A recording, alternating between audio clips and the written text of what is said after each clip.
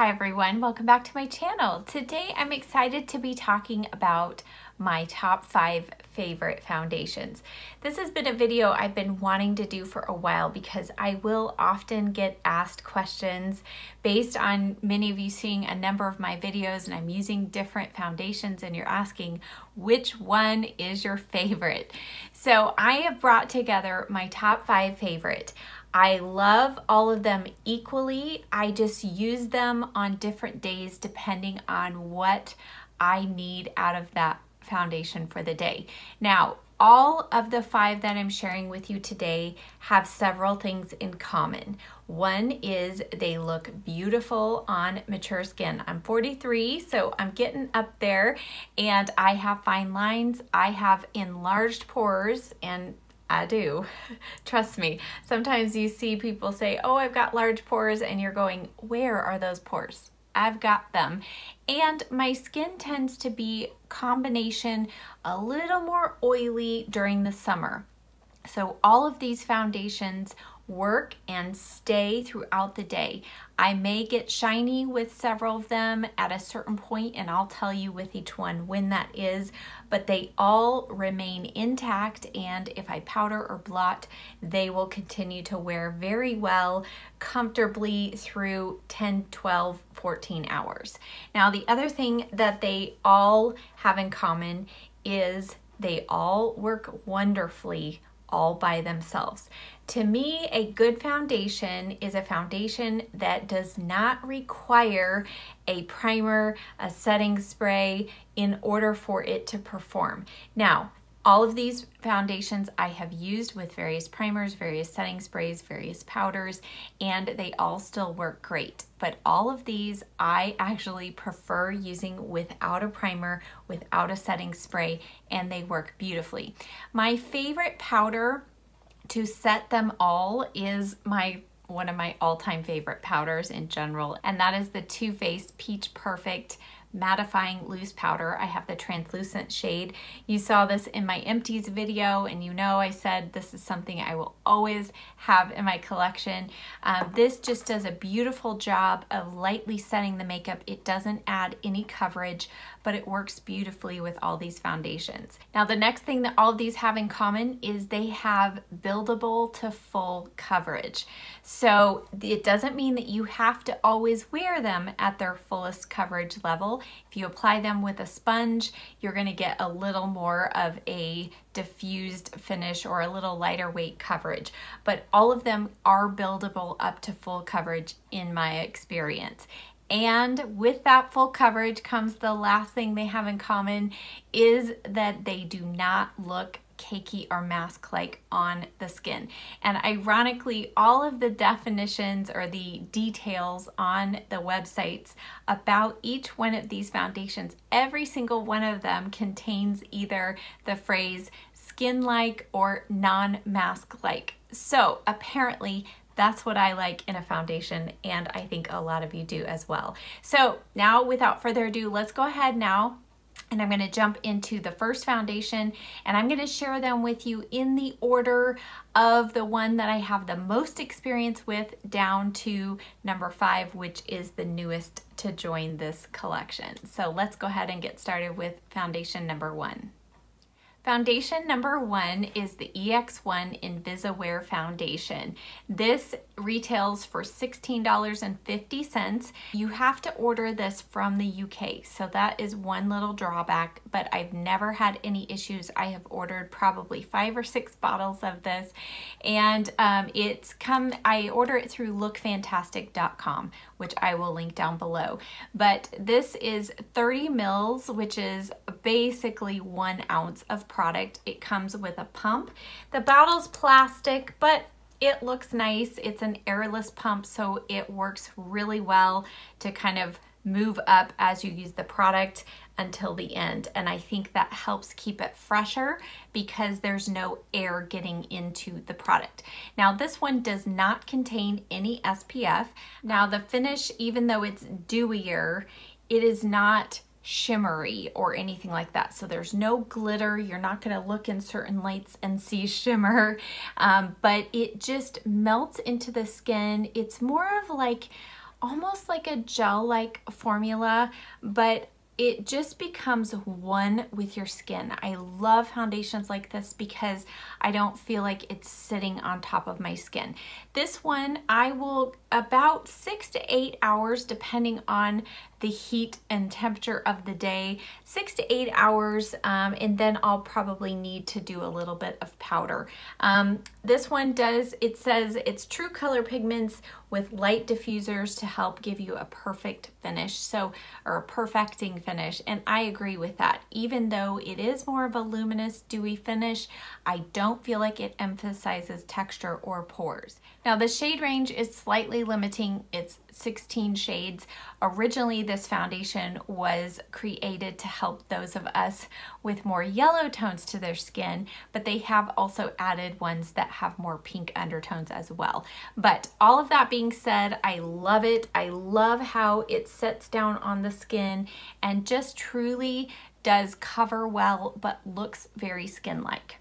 Now, sometimes what I like to do with this foundation, if I want to add even more longevity of wear time, I will actually mix it with the next foundation that I'm gonna share with you.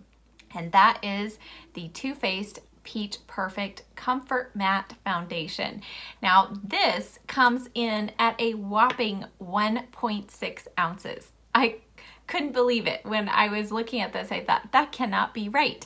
So 1.6 ounces, I have three different shades of this, and I mean, it does truly take a long time to use. It has a pump on it, which I love. And this one is infused with peach and sweet fig cream and that is the scent. So that is one drawback that many people don't like is it does have a fragrance, but personally, I think it smells really good. It does dissipate very quickly, and of course the scent works really great with the peach scent of this powder too just saying. But back to the foundation. Now this one says that it's transfer resistant and I would say that is true. For me, transfer resistance hangs in there until my skin starts getting a little oily underneath. This one does help control oils, so this is a very good one if you are combination to oily, um, but I have also recommended this to Kathy who was on here. She is more of a drier skin type and it's worked great for her. It does not emphasize pores or fine lines. Um, here, I'll show you it uh, kind of, this shade is my darker shade. This is sand, so it doesn't quite match me now, but you get the idea. So this one, it feels a little bit thicker on the skin than the EX1, but it sets and dries down on the skin and it remains fairly budge proof throughout the day. So this one, I can get a good eight to 10 hours and then I'll probably need to powder, but again, it hangs on there even past that. And as I said, this is great on its own or mixed in with this if I want just a slightly dewier finish. Now lastly, the finish on this one is a little more matte-like, but I would say a natural matte. It's not a powdery matte look, so I think it's still very flattering on mature skin. And this one retails for $36 and there is no SPF in this one. Next up is the IT Cosmetics Confidence in a Compact Foundation. Now this even has a longer title. It says Skin Transforming Full Coverage Solid Super Serum. Wow, that is a mouthful. This retails for $38 and it comes in 0.63 ounces. Now, before you think that this is a cushion foundation, let me open this up and I will show you it is not. So because of that, I think you actually get longer wear out of one of these than a cushion foundation. Now this one is super unique. So as you can see, it's not sponge-like at all. It almost feels hard.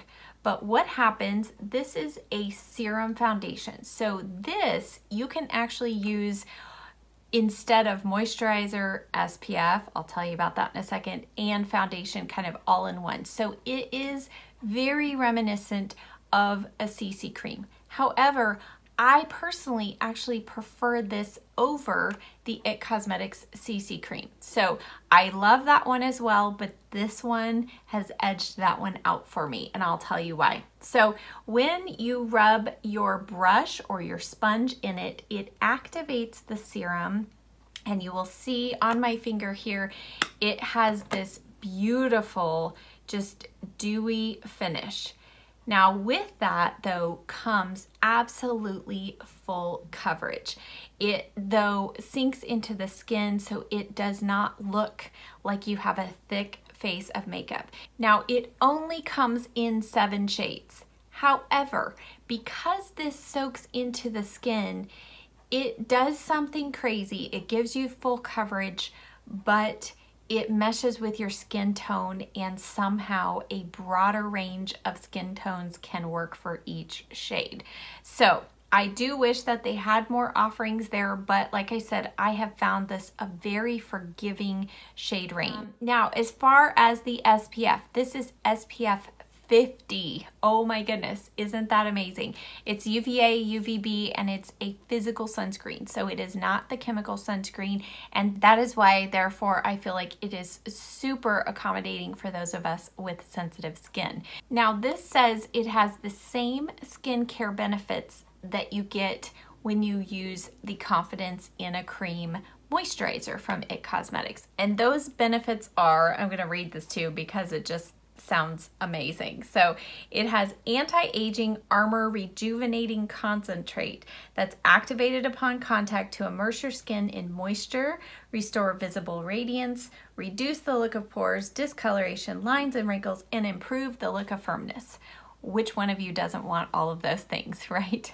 And I just have to say, I do think that many of those things happen. It does cover any discoloration. It somehow, even though it has a more luminous finish, it does not emphasize pores. In fact, disguises them. Now this one of all of them, I do have to make sure I set this very well. At about six hours, I'm starting to see a lot of shine. If I powder again, it will last me for several more hours. So if you are somebody who wasn't real thrilled about the Bare Minerals Complexion Rescue Stick, this is my preference over that. I think the finish is even more beautiful, the coverage is even better, and the skincare benefits are there. Now this one does have a slight fragrance, so that's something to be aware of, but it is not off-putting and it dissipates almost immediately when you put it on the skin. But again, a huge favorite of mine and one that I love using when I want kind of the SPF, the moisture, all of that wrapped up in one product. Next up is the one and only drugstore foundation in this collection, and it has been a newer love, but I have fallen head over heels for this, and it's the Catrice HD Liquid Coverage Foundation. You've seen this in a couple of videos recently, and this is 1.01 ounces, 30 mils basically. It comes with a dropper and I have just been so impressed by this.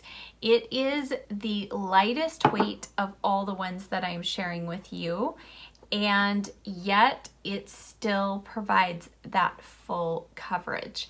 It melts into the skin, and this one, I would say, out of all five, is the most matte-like finish. So even more matte-like than the Peach Perfect, but it's not drying. I don't feel like it sinks into the lines or emphasizes any dry patches. Um, if you're a drier skin type, you might not I would say you probably don't even need to powder with this one, but you can see it right there smoothed in. It just sinks right into the skin and I love that. So this one is retails for $10.99 at Ulta and if any of you shop Ulta you know you can often find many of these brands on sale. So I think I got this for maybe $7.99 when I purchased it. And it they have expanded their shade range, thankfully. It's They're now up to 18 shades. If you go into Ulta, they only carry a few of the shades, but online they carry all of the rest. Now, while this boasts of up to 24 hour wear time, Um, I'm to say for me personally, I can get a good 8 to 10 hours with this before needing to powder and then I can powder and still get several more hours after that. I don't think I would say 24 hours. Maybe if you used a real gripping primer and this and a setting spray, then maybe, but who needs their foundation to last 24 hours? Not me. But overall, I do love this foundation. If you want something that is super inexpensive but yet performs really well on the skin and you are more of a combination skin type, I think you would love this. Now this does not have any SPF in it, but I think it's still worth it, especially at $10.99. Okay, so rounding out my top five is the newest to my collection and the most expensive. It is the YSL All Hours Foundation. Now, when I received this from YSL through Octoly, I have to say I was actually set against liking it. I did not want to like it because I knew how expensive it was. And I have tried several other high-end foundations like the Marc Jacobs one, the Hourglass one. I've tried others from Lancome and I just did not like them. Not only did I not like them for the price point, but I just didn't all out like the performance or how they looked on my skin. So when I put this on my skin the first time, I was like, I'm not gonna like it, I'm not gonna like it. And I loved it. And it has continued to perform in successive days in a row just exactly the same and I love that. Now this one is SPF 20. It is octinoxate, which is the chemical sunscreen, so not a huge fan of that. However, my sensitive skin has not reacted one bit, so I'm grateful for that. You get 0.84 fluid ounces, but it retails for $54. Whoa! So it better be amazing, right? Well, it does come with a pump and I will show you in a moment a demo, but I only require one and about a half a pump and that will give me full coverage. So in a moment, I am going to show you a demo of me applying this foundation. Now I will link down in the description box below videos of me applying all of the other foundations. So I have shown you all these other foundations but I have not yet shown you this one in action. So let's go ahead and jump to the demo and I'll explain what I love about this as we go along. So starting off with one and a half pumps on my little makeup palette here. And this is my favorite type of brush to apply it with. Kind of more of a semi-dense brush that has kind of a rounded top to it. So I will dip the brush in the foundation and smooth it on and you can just see the spreadability of this foundation. It seems like it's going to be thicker initially when you pump it out, but it spreads beautifully and thins out and gives you a really skin-like look. Now you can see what amazing coverage that gives and yet it is not emphasizing my pores or my fine lines at all. This is a very buildable foundation. So at the very end, I will use kind of what remains and maybe tap that over a dark spot or any other spot that I've got on my face. But overall, it is just a beautiful finish and again looks very skin-like but my skin tone looks nice and even and it just has a very soft finish. It's not matte, it's not dewy, but just beautiful. And then of course I like to set it with the Peach Perfect powder and I think that just gives it a really nice finish. Now this one is available in 40 shades. So if you are somebody who really has a hard time finding your shade of foundation, I think you might be in luck with this one. Now it boasts that it is transfer free and I would say yes, up until my skin starts getting a little bit oily. Now this one for me stays probably the longest shine free and then when it starts getting a little shiny it's almost like that effect that dry skin types try to achieve with their dewier foundation. So it does kind of start taking on a little bit of more of a dewy finish but it is nothing that's oily or slick looking. After about 10 to 12 hours, if I need it to go further, then usually I'll break out the powder and add that. Now, it does also boast 24 hour wear. I'm sorry, this would not last on me personally for 24 hours. Even though it does have an oil controlling formula, it's not controlling that much oil that it's gonna make it 24 hours. But like I said previously, who needs their foundation to last for 24 hours? Not me. So all of those things aside, the other con, aside from the price, is it does have fragrance added. Now, I again don't feel like it's super off-putting and actually I feel like the fragrance I was trying to determine what it is because it sounds it smells familiar and I think it's cucumber. So it smells um, just a little bit fresh, kind of refreshing, but again, it dissipates quickly and it doesn't hang around and also more importantly, it does not irritate my skin. All right, guys, so that wraps up this video. I hope that that was helpful for you. If you are on the hunt for your new perfect foundation, hopefully I introduced you to several to look into that might work for you. And I do feel like each one of these performs dependably from day to day. So many times I can have one experience one day with a foundation and the next day I'll do the same thing and it looks horrible. All of these five I shared with you today, I get consistent performance every day. And like I said, I love them even without primers or setting sprays. So thank you as always so much for watching. If you like this video, please give it a thumbs up, subscribe to my channel, and I'll see you next time. Bye.